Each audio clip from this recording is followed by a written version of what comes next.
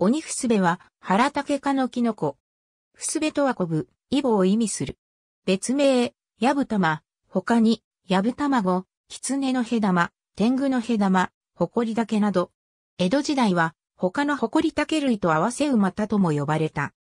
なお、従来は、ホコリ竹か鬼ふすべ属とされていたが、分子系統学に基づく分析の結果、鬼ふすべ属は、廃名とされてノウタケ属に組み込まれ、現在の分類に変更された。日本特産で夏から秋、庭先や畑、雑木林、竹林などの地上に大型の小実体を生じる。一夜にして発生するので驚かれるが珍しいものではない。小実体は白色の球状で直径は20から50センチメートルにも達し、あたかもバレーボールが転がっているように見える。容器の内部は白色で弾力があるが、次第に褐色の液を出して紫褐色の古綿状になる。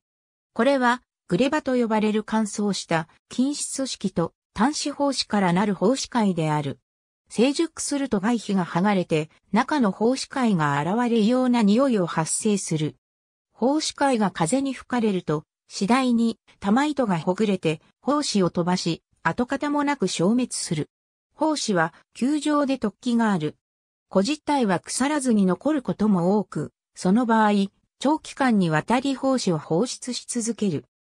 今まで長らく、一夜にして急に発生する特徴から、鬼ふすべの成長を捉えた映像が存在しなかったが、日本テレビの番組、ザ・鉄腕、ダッシュの企画、ダッシュ村において、椎茸栽培記録用に24時間体制で回していた観察カメラが脇にたまたま生えた鬼ふすべを捉え、偶然にもその成長の様子を記録することとなった。和漢山菜杖には煮て食べると味は淡く甘いとあり、昔から食べる人はいたようである。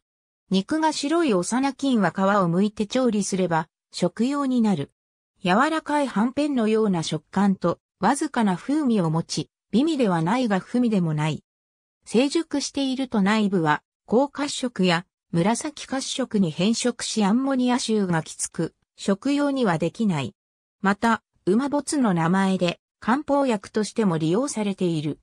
北アメリカの禁煙種カルベイシアギガンテア禁煙種は地球上に広く分布するが、地域によって別の種に分かれる。オセアニア、ヨーロッパ、北米、中国に広く分布する種子ギガンテアはジャイアントパフボールと呼ばれる。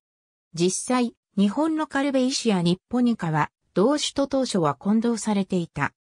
カルベイシアニッポニカは、アフリカ、インドに分布するラナピラウォルバージー FR に禁煙との説もあったが、ラナピラがノータケ族に編入された現在では、同族になると思われる。ありがとうございます。